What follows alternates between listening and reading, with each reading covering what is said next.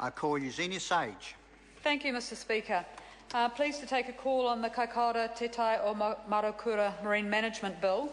And as with the government's um, sub-Antarctic marine protection legislation, the Green Party is supporting the bill because this is a step forward for marine protection, but it's not going far enough. And we're also supporting it to, of course, keep faith with the community representatives in the Kaikoura Coastal Marine Guardians who worked very hard for more than seven years to develop the proposals.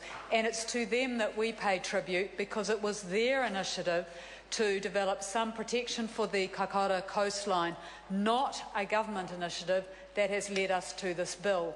And their work was in response to an early proposal for marine protection by Forest and Bird around the Kaikoura Peninsula in the late 80s, early 1990s. So it has been a long time coming in getting some protection for this dramatic stretch of coast. And Rino Tirikatene talked about um, fishing as a child. It has been the community's concern too.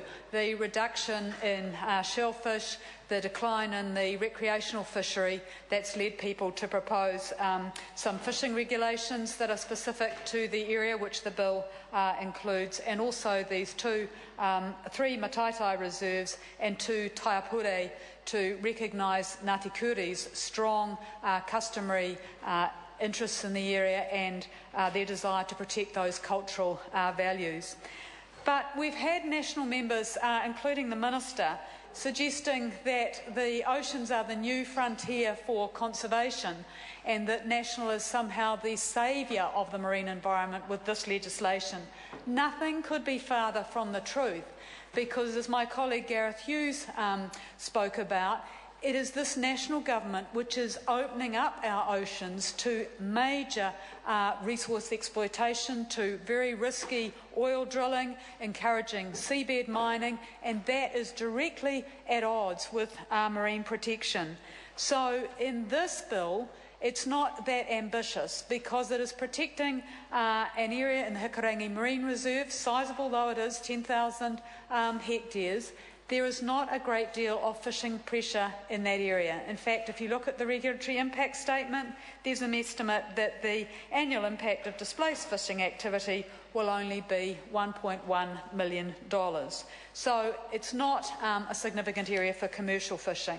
And yet, Kaikoura is a really important area for marine tourism, as others have said, generates 134 million annually locally. And it's part of a much bigger marine tourism industry. 50% of the international visitors to New Zealand take part in marine tourism. They spend $1.6 billion while they are here. If National was genuinely interested in having an economy which recognised that it depends on a healthy environment, it would be doing much more in this bill to protect our marine environment on which that marine tourism depends, on which amenity values um, of New Zealanders depend, because so many Kiwis love going to the coast, particularly the Kaikoura coast. But National's not interested in genuine, um, solid marine protection because the sanctuary that this uh, bill establishes will still allow seismic surveying. And to correct the member for Waitaki, seismic surveying can have quite substantial impacts on marine mammals, which is why there is a code of practice. But the fact that seismic surveys, even though they're not the worst sort, can occur in the whale sanctuary um, shows that there are some quite considerable flaws in the bill. Another of the flaws is the very limited area of the rocky coast that the Hikurangi Marine Reserve covers, only two kilometres. Its very jaggy, jagged boundaries will create quite significant enforcement difficulties.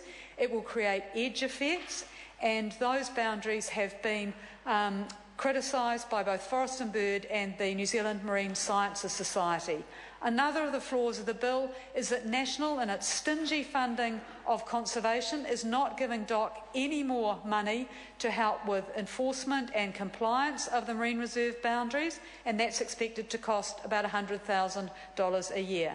So, Mr Speaker, we look forward to submissions and we hope through the Select Committee process to be able to improve the bill. Call Maggie Barry. Thank you, Mr Speaker. I rise to speak to the Kaikoura Marine Management Bill at its first reading. And